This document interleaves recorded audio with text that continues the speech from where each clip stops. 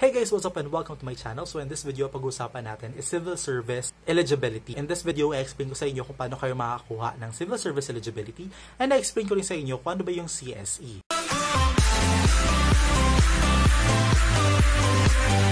Just a brief background, yung civil service eligibility, kailangan mo siya if you want to work in the government. Yung civil service eligibility, isa siya sa mga kailangan na meron ka if nakagraduate ka na ng college. So yung civil service eligibility, dapat i-consider mo din siya as one of the employment requirement. Employment requirement.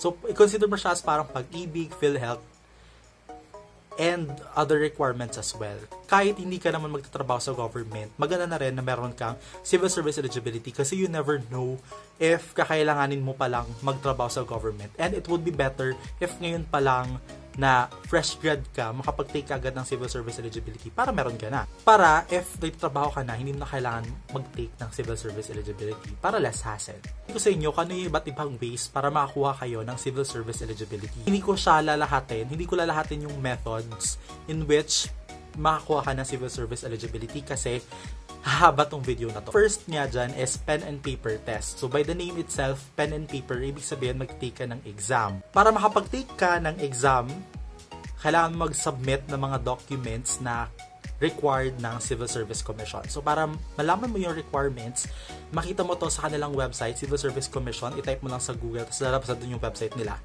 Tapos makita mo rin doon yung step-by-step process kung paano ka makakwalify to take the exam. So nandun na yung mga dapat na size nung, nung picture sa kung ano yung dapat na itsura ng picture. Nandun na yun sa website nila.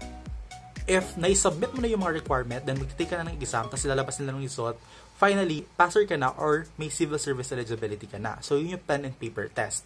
Now, yung kagandahan ngayon with the Civil Service Commission is meron na silang parang mga mobile, yung parang mga pa-event-event in which pumupunta na talaga sila sa mga sila lang yung pumupunta sa mga places para makapag-submit ng document. Yung next naman na um, method para makakuha ka ng civil service eligibility, ito yung method na ginawa namin ng mga classmate ko. Ito yung tinatawag na honor graduate eligibility. Yung mga qualified para makakuha ng honor graduate eligibility by the name itself, honor graduate eligibility. Yung mga persons qualified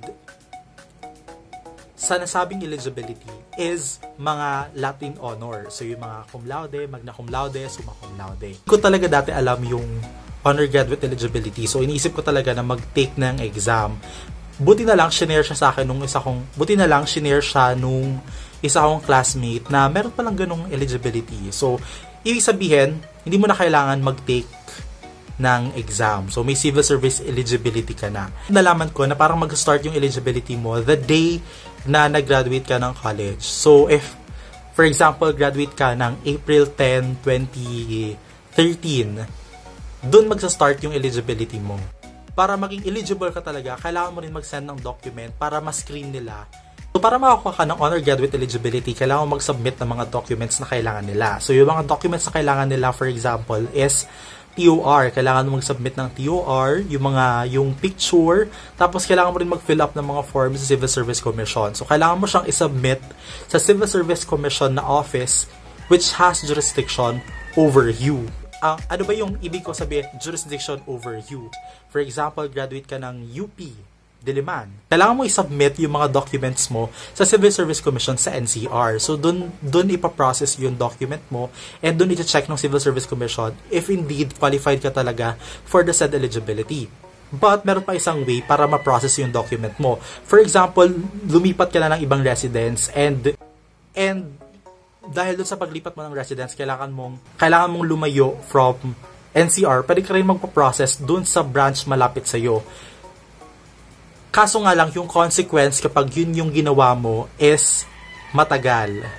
Kasi, if sinubmit mo doon yung document mo, yung document mo naman, isasubmit ng branch na yon sa regional offices. From regional office, sila naman yung magta-transfer doon sa Civil Service Commission which has jurisdiction over you. So, medyo matagal siya. Pang isang method para makakuha ka ng civil service eligibility is yung sa barangay, nag-serve ka as, for example, counselor or barangay, may certain number of years or term yata na kailangan mong ma-meet para mak- qualify ka dun sa eligibility na yon. So, if naging public official ka na, for ilang term, check nyo rin yung website nila para sure kayo. If board passer kayo, for example, yung nakapasa kayo ng LET licensure exam for teachers, o kaya naman, pumasa kayo ng uh, bar exam or yung mga licensure exam for engineers, ganyan, eligible na rin kayo. So, hindi nyo na rin kailangan mag-take ng civil service. Guys, bago ko i-end tong video na to, basta sa pagkakaintindi ko, yung iba't ibang eligibility na mention ko sa inyo, well, marami pang, marami pang ways sa Civil Service Commission. I-check na lang sa website nila yung iba't ibang ways para makakuha ka ng civil service eligibility. Pero based sa pagkakaintindi ko, yung iba't ibang method para makakuha ka ng civil, civil service eligibility, may kanya-kanyang um, parang level sila. Meaning, may mga limitation yung ibang eligibility. Base sa pagkakaintindi ko, may iba't ibang limitation yung iba't ibang eligibility And when I say limitation, parang may certain position ka lang na pwede mong ma-meet. That's it guys for our video. If nagustuhan niyo tong video na to, please don't forget to hit the like button. And if sa tingin niyo helpful tong video na to, please don't forget to subscribe to my channel. If may mga question kayo regarding civil service eligibility, please feel free to comment down below para masagot ko yung mga questions niyo.